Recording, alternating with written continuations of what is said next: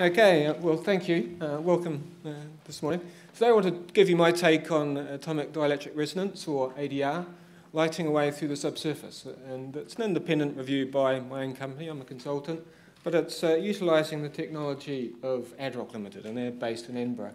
And uh, you know, many, many of you may know Gordon, he's spoken here at this forum in the past, and that's how I first got involved a couple of years ago. But let me introduce you to the technology. Um, I want to please grant me a bit of poetic license today to talk of light um, as the whole EM spectrum, electromagnetic spectrum, and not just a tiny little bit that we see with, with our eyes. Now, the Adrok tools, they work mainly in uh, 1 to 100 uh, megahertz in the radio wave frequency, but they do go up to the radar uh, frequency as well. And what it's about is trying to penetrate the subsurface. And to do that, they uh, use directionality and coherence.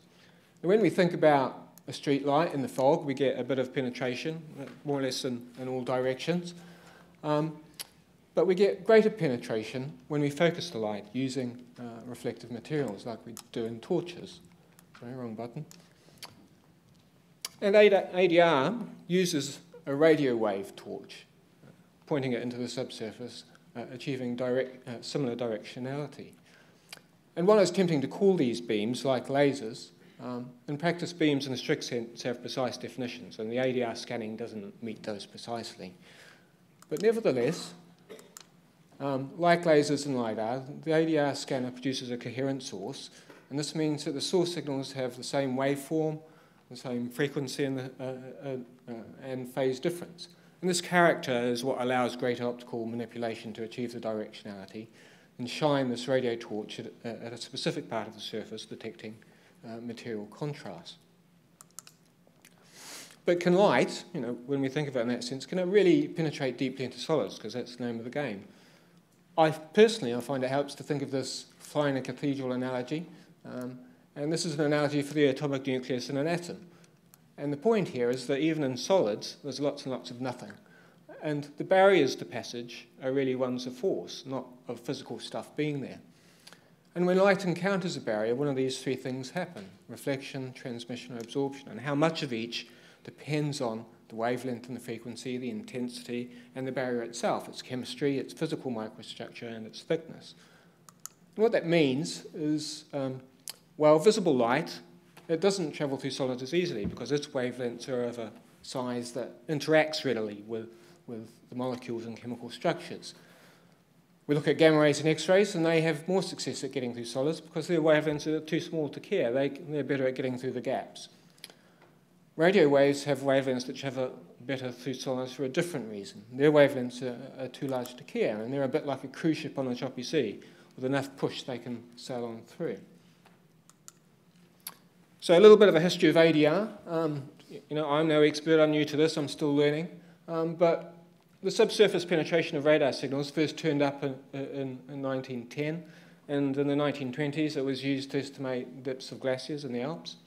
Um, but the advent of ground penetrating radar didn't come around until the 70s. But it wasn't until the 80s and the 90s that there were a series of military and space experiments, some including the shuttle, um, with aircraft and spacecraft uh, and the name of the game was Moving Directed Radar Pulses uh, over an area. And they call that SAR. Um, and it gave the proof of concept for detection of shallow subsurface geology using this method, with some successes in Scotland and the North Sea and Egypt. Um, and with the development of LiDAR technologies, uh, it was recognized that um, maybe similar approaches might be applicable to radio waves. And so this is when Colin Stove, he, he founded uh, ADR. He has a long history, fun guy to talk to. Um, but he used his experience in SAR and GPR and remote sensing to found Adrok in 1994. Um, and since that time, Adrok have been applying this technology, trying to get it to go deeper. Um, and they've issued multiple patents since that time, I think about 25 or something like that. Um, and they've applied this technology in a variety of different fields. It's not just for geology, medicine, mining, hydrogeology, archaeology, hydrocarbons, and geothermal. And notably, one of the largest clients keep coming, keeps coming back for more is Chevron, um, and they're using the technique to assist with tracking injection fluids in North America. But today, uh, I'm going to talk uh, about a, 2016-2017 Innovate project that looked at a bit of onshore UK petroleum geology. before I do that, though, I just want to talk a little bit, about um, the theory. The, the, absorption is an interesting thing to us uh, because it gives us a window into this thing called the relative permittivity. And thinking about absorption, if we pour water onto a material, it's absorbed in different ways by different materials. And pouring light or electromagnetic radiation on, onto a material, it also creates different absorption responses. And ADR exploits this material-specific um, response, and different types of uh, radio and radar have resonance properties that help facilitate the technique. And any subsurface reflections from the scanner's pulses are recorded in time, collated, and spectrally analysed for energy, frequency, and phase. And then Maxwell's equations are applied and a variety of different polarization models, and that allows really three key variables to, to, to, to be extracted, but the one that we're most interested in as, a, as geologists uh, is the relative permittivity, or, or, this dielectric constant, as it's sometimes known. So what is that? Um, well, it's defined relative to a, a, vacuum, and it's set as 1, and it's related to the electric susceptibility of a material, um, how polarized a dielectric material becomes in an applied electric field. And there's a variety, a variety of rocks share similar values. Um, but the thing we need to note is that water, this is a log scale by the way, water is up here at 81, hydrocarbons typically around 1 or 2, and most rocks in, in the bracket 4 to 12. And what that means, as this chart shows here, uh, is that the tool should therefore be sensitive to porosity and water saturation. The devil is in the detail of discerning mixtures of rock types, porosity and pore fluids, because non-uniqueness uh, is the enemy here. And that requires a bit of creativity to bring in other calibrating information. And it hasn't been trivial, trivial to do this. Um, but what isn't uh, ADR? Uh, is it like GPR? Well, uh, it has some similarities. It's a time domain electromagnetic method, but that's a big bucket. It has, has some similarities with seismic as well. Um, the observations are made at a variety of distances from the transmitter, and these two uh, deliver two NMO and ray tracing derived dielectric constant curves as a function of depth. And the, and the electromagnetic velocities are actually related to the dielectric constant, so these can be used to convert time to depth. But it's not GPR, um, although they both use radio waves. GPR's higher frequencies and centimetre scale wavelength don't penetrate as deeply, and so it's really useful for the shallow subsurface. ADR uses different wavelengths to try and get things deeper. And GPR doesn't, also doesn't use the resonant element of a wave packet to look at the material, and it's not normally uh, uh, uh, involved in trying to discern the relative permittivity, this dielectric constant. So it's not that, and, and unlike seismic and GPR, ADR is not waving energy about everywhere. It's trying to focus it in, a, in an intense ray, typically up to about 0.4 meters wide, and, but actually uh, a little, uh, about 10 centimeters wide at its most intense. And as far as we can tell, it's not uh, significantly affected by structural dip. How about CS um, control source electromagnetic methods and magnetotellurics? We've heard a lot about these, these already this morning. And these are very useful, but they're techniques that are in, employ lower frequencies that don't see high detail, and they're measuring changes by externally sourced electromagnetic fields, either natural or controlled, and they happen relatively slowly compared to what the ADR tool does instantly. And so while these other EM methods have a very important and useful place, we've seen that already, um, ADR is fundamentally different. Uh, you know, it's endeavoring to give a meter scale resolution at kilometre scale depths using these directional radio wave Uh, uh, radio waves to illuminate and their resonance properties as well. And that's the name of the game is to highlight the dielectric permittivity and other contrasts in the subsurface. And I just want to emphasize today, I mean, you, you, it's not really a question of whether this works. We know it does. It's about how deep can it work. This is an image of a horse buried in concrete in, in, in a viaduct in Scotland. It's a long story. It's on the Adrok website. It's worth having a look. But these are the Adrok tools, and they're seeing this image through several meters of concrete. So we know it works on that scale. Adrok have taken the tools down a mine in northwest US, and they've been able to detect their own signals through hundreds of meters of rocks. So we know it works on that scale. It works on several meters, it works on hundreds of meters. So the question we're trying to tackle uh, of interest to me anyway, is can we take it to the kilometre scale level, uh, including petroliferous sedimentary basins? And you know, Adrok are employing a number of different techniques to do that. We've already seen the lower the frequency, the greater the penetration. Um, you get conductive losses in soil where there's uh, a lot of water with free ions. That's limiting factor. So if you can steer away from those, you can see deeper. And that's also why onshore is the focus of this tool.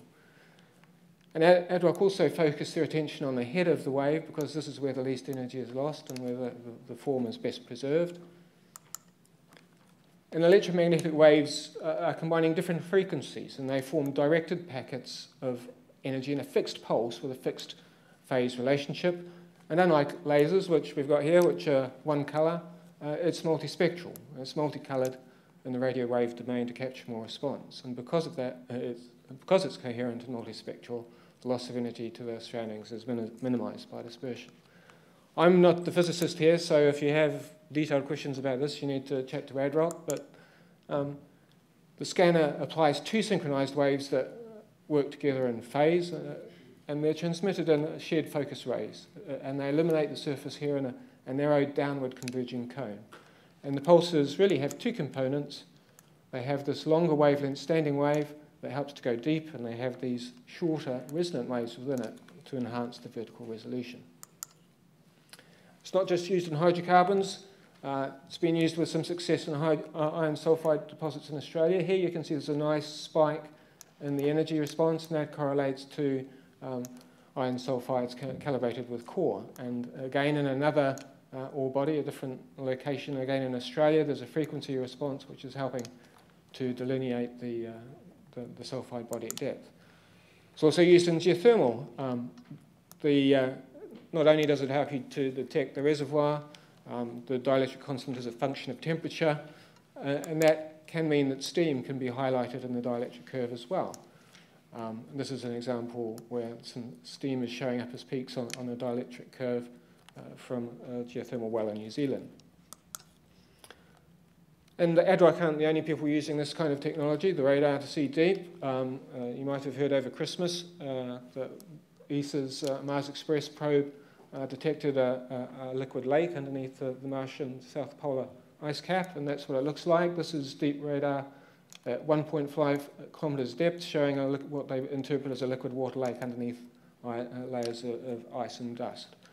So this is uh, technology is a real one. Uh, it's increasingly used. Uh, Adrok's taking it to new places uh, with specifically engineered uh, techniques for deep subsurface resource exploration undertaken remotely from the ground surface. So for me as a geologist, it was simply to see, is, is this working? Is it for real?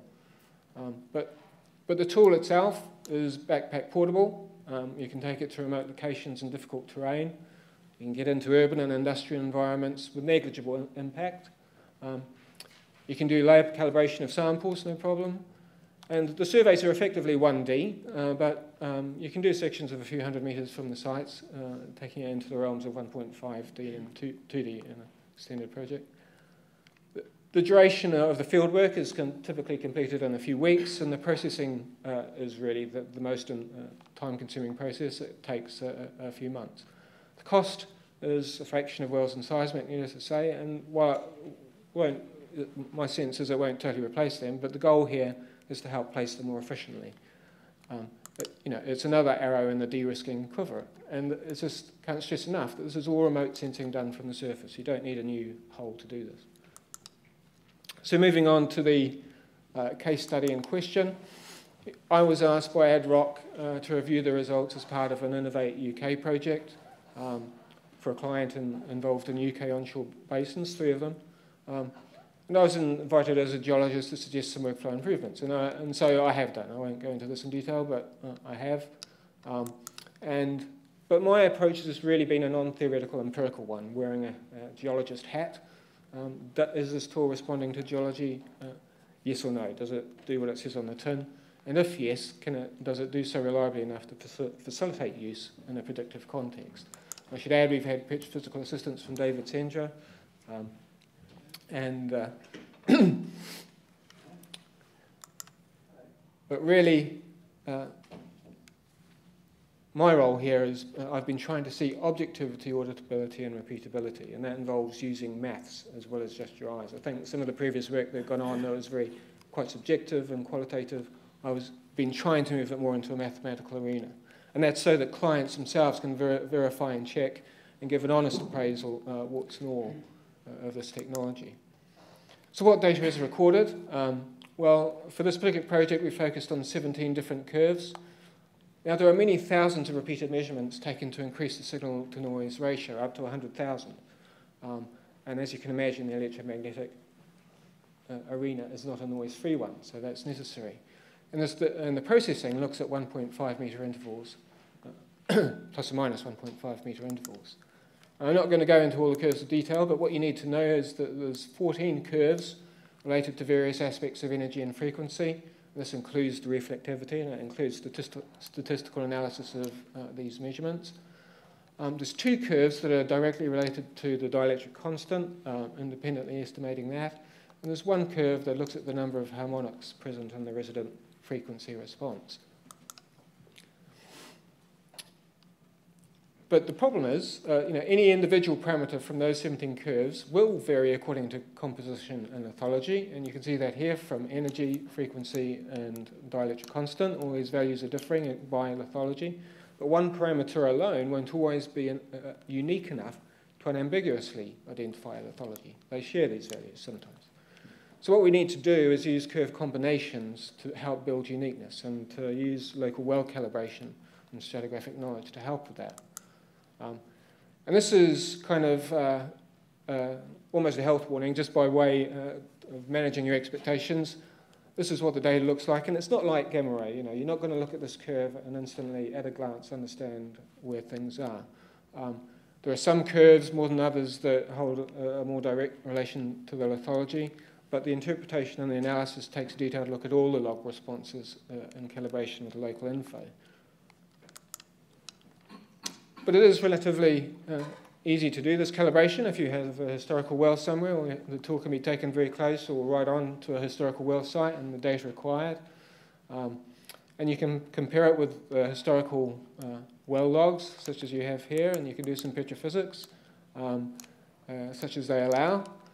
And uh, then you can bring your ADR tool and, uh, and do, acquire the data. But it's one of the things that has happened in the past is a, is calibration based on the interpreted uh, lithology uh, alone. And one thing I stress is it's important to base calibration on the continuously varying log and petrophysical curves and not just at a discrete interpreted lithology because nature just isn't like that. You know, it's gradational and the tool is seeing more than that, I believe. but we already know uh, the theoretical ranges of the dielectric constant for various minerals and fluids. Uh, there are lots of lab experiments and published literature. And what that does is allow us uh, to model the dielectric constant of a lithological mixture from the calibrating well petrophysics, um, according to a set of defined rules and assumptions. Now, this isn't trivial, it's, uh, still an uh, evolving process, but what it can do is serve to highlight the main contrast we're likely to see. And we can do this all ahead of and independently of any ADR data acquisition. Um, and what that allows us to do is some pre-acquisition feasibility and also some post-acquisition quality control. And the early results um, are suggesting that this forward modelling does have some success in replicating the gross form of the uh, dielectric constant. It's not exact, and we wouldn't expect it to be, but um, there's two areas down here where we seem to be getting some replication of form. Um, and if we get a decent match, it's giving us an independent verification that the tool is seeing real stuff at depth.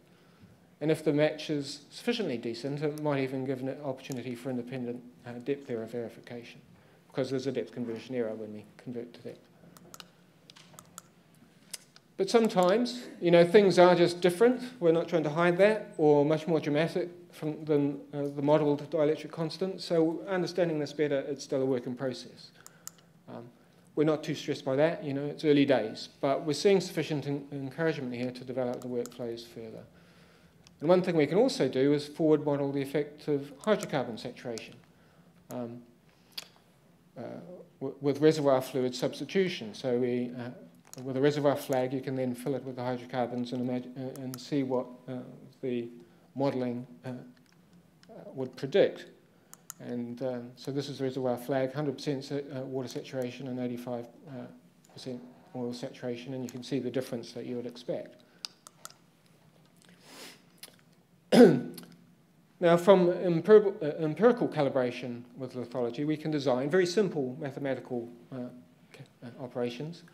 Uh, we, we can design combinations of these curves to accentuate observed responses, and I call these lithmetrics. Now, these aren't diagnostic, they're just a guide, but this shows one of them. You can also see standard deviation and, a, and an average version of it, um, and this shows the peaks and troughs present in that curve. And you compare that with the log data, and the good news um, is that many, um, not all, uh, peaks and trough responses uh, can coincide with uh, geological, geological contrasts. We have to be aware of spurious correlation, uh, of course, that's a real danger here. But we're getting encouragements that uh, this is seeing real geological contrast. The bad news is there's not always going to be a systematic relationship to plane here. It's much more complex. Uh, and that's no surprise because remember, we're looking at atomic level responses here and we're looking at chemistry, microstructure, thickness of the barriers. And that means that we need lo uh, local calibration to the stratigraphy, and it means that it's good to have a number of different metrics, and, and we do, and there's, uh, we currently use about seven, but there's no reason why we can't use more. Um, but the point is that sometimes it's sociology. I'd, I'd be lying if I said there, were, there weren't times when it doesn't work as well, but we see that it can work. This shows you an anhydrite layer. Uh, layer. This is the petrophysics here. Uh, we've got an anhydrite layer, we've got um, a sandstone, and we've got some carbonate as well. And we're getting a big peak uh, in this lith 5 metric at a strong anhydrite limestone uh, sandstone poroperm contrast. And this is about kilometre depth. But notice also that where the petrophysics is giving us these carbonate bands, we're seeing these quite distinctive little triangular wedges. I call them carbonate ledges that coincide with them.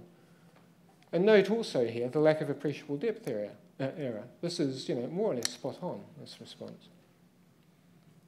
So to me, this is interesting as a geologist. Seeing the hydrocarbons, well, that's perhaps a little bit harder. We would expect a negative deflection uh, in the dielectric constant value. But this might not be a, of an amplitude that's very different from geological variations. But if we know we're in the reservoir vicinity from other calibrating information, it might be enough to infer hydrocarbon presence. And here we have the petrophysics of the well. Uh, we've got some more saturations down here, and this is the dielectric constant that's been acquired. And what we can see is we've got a nice negative deflection here due to the hydrocarbon presence in this thin sandstone. There are some, the petrophysics was uh, bringing out some more subtle saturations, and you can imagine perhaps there's deflections associated with those. But then we also get this big deflection. Is that real? You know, so it's never cut and dry. But, and it brings me on to the next subject, you know, sometimes we do get blips that are just hard to explain. So we've got a model here, but we've got two big blips here that just happen to roughly coincide with two hydrocarbon-bearing reservoirs in the area. Is that coincidence? Um, you know, the fact that it's higher dielectric constants uh, will lead us to expect there's more water than expected. Could it be production related to a waterfront migration between log acquisition and the ADR acquisition? Um, discussions with the operator seem to rule that out. One other option is that maybe we have a bit of depth conversion error here, um, may, perhaps because the ADR acquisition was a bit offset from the well and there's a bit of dip. But even so, even if we do that and correct by 25 metres, we still get uh, some of the blips being anomalous. And you know, the, the modelling is not. Um, what I, what I should stress is that sometimes when you do this modelling, it overemphasises the effect of porosity. So that's still something we, we think about. If there's a lot of water there, seems to, the modelling seems to overemphasize it. So we're still dealing with the, these issues. And some things just can't be answered on a small database yet in a structurally and lithologically complex area. So we're still at a very early point of the learning curve, similar, I guess, to the early days of wireline logging. Well, but we don't need to fully understand a geophysical response to use it empirically for calibration as long as it's consistent. You know, the understanding helps, but it can come second, like seismic. We don't need to know why we have a response to map it. And this is a you know, horrible slide perhaps, but what we have here is all the ADR curves lined up. And what I've done, if you have a pair of wells where you have calibrating information, the geology and the, the lithostratigraphy, you can log the character response, uh, troughs, peaks, uh, uh, other, various other things, for each of those curves, you can create what I call an ADR lithostratigraphic genome. And that's what we're showing here. If you just remove all the curves out and just leave the character. And these curves you can do for each well, but they represent the kind of calibration between a well pair. And the beauty of that is that it provides a reference framework that you can then apply to new sites. So we're marrying the ADR data to the lithostratigraphy. And for now, you know, this is obviously quite qualitative and subjective, but perhaps in the future there are ways of ma making it more mathematical. Artificial intelligence springs to mind. Um, that's things, something we're working on. But if you have this framework, you can apply it to a new well, um, and you can, that can help an anchor it in the local stratigraphy, allowing you to make a prediction of what that stratigraphy is. And then you can bring in the dielectric constant from the ADR data, and you can use it to make uh, predictions about the hydrocarbons and, and, and, the reservoirs. And that's assisted by the forward dielectric modelling and the fluid substitutions. And then, of course, if you have the actual data, you can uh, marry it against that uh, and see if it works. And we've had uh, some success at these, at these levels, uh, thanks to the petrophysics of David Davidson. But um, so, what are the case study implications? Well, I'd argue that the subsurface geology has been seen by the ADR techniques uh, at these depths, but not all subsurface geology is. And the, det the, detection seems to work best with a strong poorer permanent fluid saturation contrast. It readily sees the high water content. Purely lithological changes, they're, they're sometimes discernible too, but in a purely sedimentary basin context, uh, these are typically non-unique and they can require careful calibration to progress. Um, the forward modelling of the relative permittivity, the dielectric constant, that helps give you advanced indication of what should be detected, and that can uh, help us uh, place these ADR results in the stratigraphy. Detecting the hydrocarbons uh, is a bit trickier, but it's also feasible, and the higher the saturation, the easier that should be. Where we have complex or poorly calibrated geology, where we have a lot of stratigraphic variability, where we have low hydrocarbon saturations, where we have old and sparse calibrating logs, these aren't showstoppers, but they will hamper the interpretation. And where I think this tool has a future uh, uh, for now is really in simpler situations where there's less, less structural and lithological variability.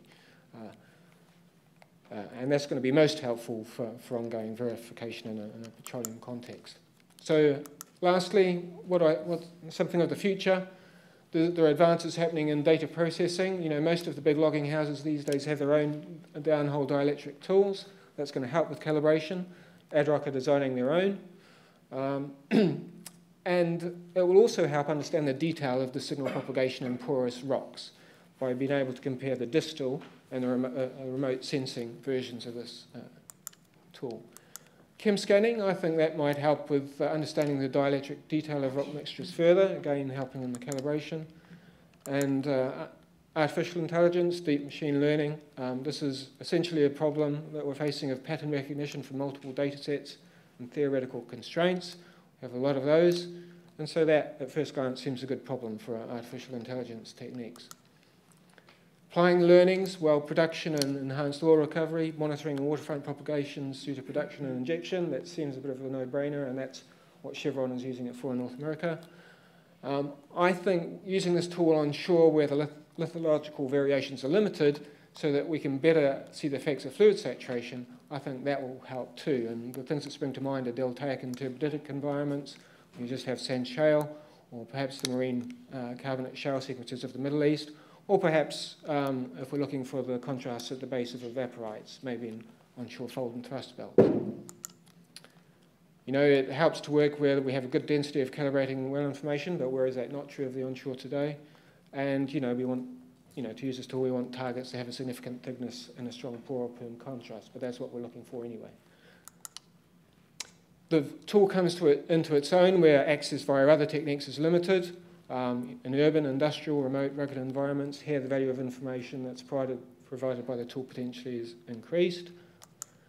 And uh, also where we have hard rock mineralization. You know, in those lithologically drier environments, perhaps the, the response due to exotic minerals uh, uh, like sulfides can be more prominent. So, closing comments. This is a young technology. Nobody's pretending otherwise. It's under development, and nobody is uh, saying everything is understood. You know, the physics here is involved. Um, and the non-uniqueness of subsurface responses can be an issue, and it doesn't see everything. You know, we need a strong dielectric contrast.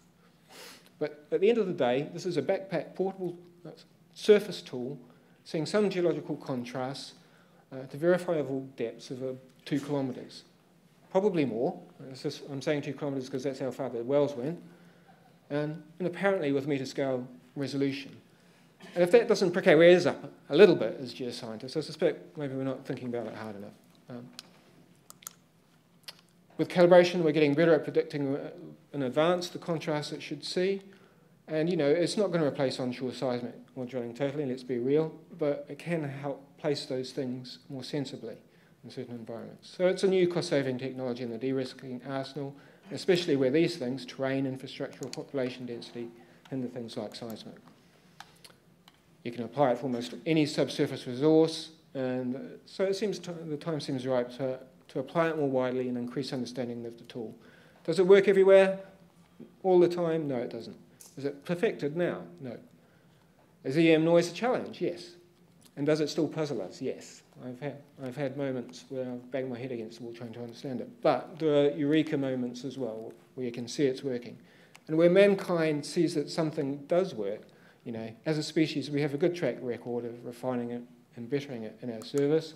And I think that's what Adrok are trying to do. And I think it helps to think about, you know, where the first wireline was 100 years ago. You know, perhaps the scope here uh, for advance is comparable. And, and, you know, there's no guarantees of that. But, you know, I've seen enough to think it's worth finding out. And we don't bite. Okay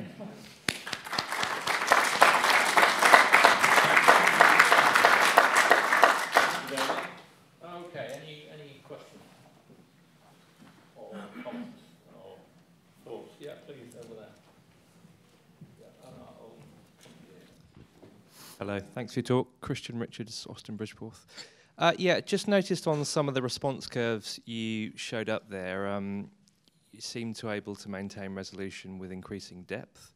Just struggling to get my head around that. Apologies if I missed an explanation, but could you elaborate on that, please? Well, I think, you know, like, like I said, I'm not the physicist here, I'm the geologist. My approach has been with a geological hat on. What is the data? Uh, where are the blips? Does it respond to geology? In a crude sense, that's what I've been doing. So if you, uh, uh, apologies, but if you want to go into the, the, detailed physics of the responses and how that works at depth, you need to chat to the Adrok guys. Sure, okay. Okay. Um, I guess uh, in the same way in which we use hyperspectral imagery, we're able to uh, tune the wavelengths we want to detect. Um, I picked up on the fact that you said is process the processing is quite intensive. Can you tune uh, the signals that you're searching for there? I'm thinking in terms of mining uh, an enriched zone, for example. You know what response you expected to get. Well, I think so. Yeah, I think the guys, uh, you know, obviously you're not going to use the same thing for, for looking at a horse in a viaduct as you are for something that's, uh, you know, chasing hydrocarbons deep. So, yeah, the guys, are, I think, will vary it, you know, according to what they're looking for. Sorry, I, I, know you two guys from Bridgenock. Tim, you ought to say who you are and where you're from. Oh, I beg your pardon. Thanks. Tim Archer from Reed Geophysics. Um, you're claiming a, a, a, meter scale resolution at two kilometers depth. Uh, and on one of the early slides, um, I noticed that the, the main bandwidths are uh, 1 megahertz up to 100. Um, conventional physics dictates that uh, with those wavelengths, you're getting a resolution at the low frequency end of, of about 100 meters. That's the kind of feature that you, would be able to image, the, the thickness of feature. Now, obviously, as you increase the frequency, uh, you're going to be able to image smaller features, but then your penetration depth drops off. Mm. So at the top end of your frequencies, you're going to get a maximum 10, uh, 10 meter penetration. Mm. Um, you, you, you, just, I mean, this is not, not my idea. Um, I, uh, although I'm mostly Grav Mag now, I spent seven years with Anglo American um, flying an airborne electromagnetic system. Oh, yeah, I know, Tim. And, uh, yeah, no, I sort of Adrok warned me about you in advance. Uh, but it's not just me. Most of the no, no, mainstream no, no, scientific community has serious reservations. No, I know. Can I, can I just stop you there and just say, yes, we, I realise that, you know, I can't understand everything, but my approach, let me just explain to you what my, I, hear what you're saying, and I don't think you're wrong, but uh, what I am aware of is that they're looking at a whole lot, lot of different things. And it's simply, if you look at it what is it seeing? That's my job. You know, this is this is a curve. It almost doesn't. For me, it's been a case of I'm not trying to understand the physics too much, and I defer to people like yourselves that understand a lot more. But I'm standing back empirically as a geologist and saying these are the curves they're giving me, and this is what's coming out. Through simple, uh, I manipulate them sometimes to normalize them, to add, subtract, multiply, divide. That's what I do, and I see what comes out. And I'm seeing responses that are, that are large that match a, a, geological horizon at that depth. Now, I don't, I'm not trying to under, understand why that happens. That's for other people to argue about. But what I'm saying is it does seem to be happening. Not all the time, but when you have that anhydrite layer and you have that ping coming in like that, um, it's just compelling. I, don't, I can't explain to you why that's happening. I, I don't have the physics to do that. But I'm saying as a geologist that it looks like it is happening. And, you know, I've had days when I thought, okay, is this all for real or is this just made up? But then you, you go through this forward di dielectric modeling response exercise and you just kind of plug in the numbers. And, you know, I'm doing it very simply. There are better ways to do it. But just going through that exercise, and you can, in, in certain locations, you come out with a contrast that mirrors what the tool is doing. To me, that says, okay, I might not understand why this is happening, but that, uh, for me, is compelling. And I'm not, I'm not, nobody's pretending that happens all the time everywhere, but to me, it seems like there are places where it's too, too, the match is too good to be chance. Um, you know, and obviously, there probably needs to be more statistical testing of that by others who, who know statistics. But I'm just highlighting the fact that as a geologist, that yes, there are issues. Uh, we hear you. Uh, you know, it's not always going to work, but and yet, that is what I'm trying to say to you today. And yet, somehow. As, as a, a geophysicist, I've always got to be careful of confirmation bias in my own course, work, yeah, yeah. particularly when I get excited about a technology. Mm. Um, and when that happens with a technology that I don't understand, Yeah. then I get quite c- concerned. Well, well, I know. You, you know, I mean, I, I'm with you. I, the, the, the problem is there's quite a lot to understand uh, in this stuff, uh, and I've been trying hard to do that. You know, I started off with this, you know, as a geologist, and since then I've been trying to go in and understand it in more detail. And I, I hear what you're saying, and the worry is, is, al- is always if it's just once, and then fine, you worry about it. Maybe it's just something spurious, and so that's where you need to go away and, and, and do it. But the fact is that Chevron, you know, they're not stupid. They've been doing this for, for years, and they've just renewed a contract with Adrok, coming back. And, and that's where I think it has value. If you're doing it again and again, applying it in an area you know well, and getting to understand what it does respond to, and maybe that it's not, you know, um, whether it's meter scale or not, the fact is, you know, maybe it's 10 meter scale. I mean, I think actually some of the depth conversion errors I've been seeing coming out are a bit more, um, you know, the more on the, on, on the 10, 20 meter uh, uh, scale sometimes. So perhaps, you know, maybe they're just lucky sometimes with that meter correspondence. But is it seeing stuff at depth? I think it is. Um, Obviously, geologically, looking at wireline, which we're all now fairly familiar with, um, the big distinction there is you're going down to the source of the action. uh, Um, so you're seeing that fine detail um, literally in the wall rock or very close. I, I, I just can't accept that you're getting that detail of resolution from a, a sensor a kilometre well, or more hear above you, you know, and we, ex- you know, I mean, like I say, I hear you, uh, and I think it's a conversation that needs to happen more. But I just, uh, you know, I'm just aware that sometimes we're too quick to dismiss things because we don't understand them, and you know, maybe, uh, you know, at the end of the day, we do have to understand them. But maybe there's more of a conversation that, and I think the, the, the evolution of these downhole calibrating tools will be helpful because there we can see, we can do what you want to do and get close and see what the dielectric response is. And then we can really test in a lot more detail, you know, is, are we seeing from the surface what is being seen downhole? And we can understand more about how that signal is, is mirror, mirroring what's seen downhole or not, you know. And so I think, you know, as I said at the end of my talk, I think this is worth chasing further. That's my flag at the end of, you know, two years of looking at this stuff. Do I understand everything? Do I realise there are issues, as you've identified? Yes. Uh, but I think it's worth chasing some more. We, we'd welcome that conversation and preferably through peer-reviewed scientific literature. Of course, yeah. Uh, yeah, um, John, John Glass from, from, from Cloverfield. Um, I was struck that uh, this technique might be useful in semi-arid areas where agriculture depends on irrigation uh, for mapping the water table um, and changing salinity in the subsurface water. Mm. Um, have there been any case studies where, where this technique's been used for that? Um, yep. Um, there's, a, there's a variety, you know, if you go to the Adrok website, there's a variety of case studies. And, you know, I think, you know, these are the more traditional uses of a tool like, you know, ground, ground penetrating radar. And it's, uh, you know, the, the, to see the water, I think one, of, one thing that it is useful at seeing is seeing the water. Uh, and they have used it in a hydrogeological context. Uh, context. Um, and, uh, yeah, the, the, the, the hydro, you know, the petroleum geology aspect of it is taking it to another level, but there are a whole lot of other uses that's been useful. Okay. One more and then let's stop for coffee, please. Right at the back. You need to rush.